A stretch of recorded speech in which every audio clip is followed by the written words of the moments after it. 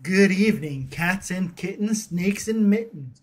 With Doom at an all time recent high, we're here at the Katsassanor News Jamworks to keep on slamming, jamming, and blamming you the news. So turn your ears all the way up.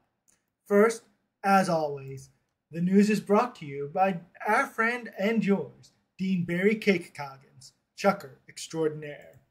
A brief glance at the map of Astanor will let you see that we've got Doom spiraling out in the east, a little bit to the west, and possibly a surprise candidate for Doom of the Week to the north. But let's start with some good news, because it's rare that we get any. The dwarves and the halflings have buried the hatchet thanks to the wedding between Kenhall and Grimveer. That's good news, it's great to see that this happy couple has brought an end to this feud.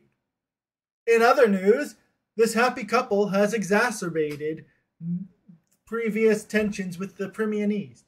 This is in part because the Primian East has uh, decided to antagonize almost everyone.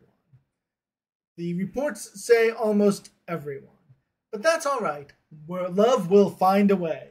In particular, love is going to hopefully find a way in the Underdark, where we continue to see operations by our friend from Karazarak. The operation in the Underdark is continuing. Notably, you'll see that our shipyard is well underway. Operations should begin in about half a season.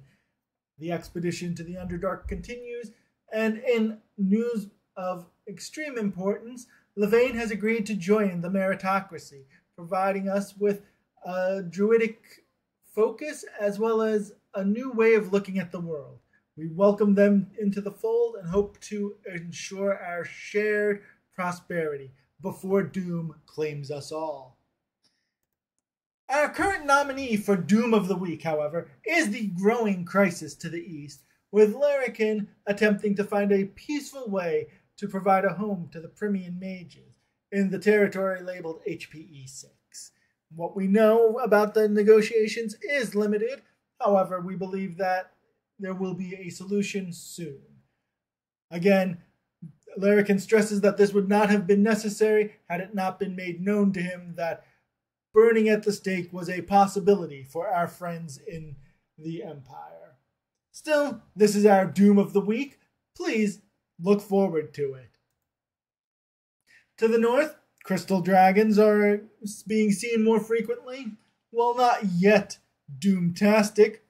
It's always good to keep your eye on other places where doom may yet rise. Finally, to the west, Tanif is deciding between two paths forward, one to Gulia and one to Varenzin.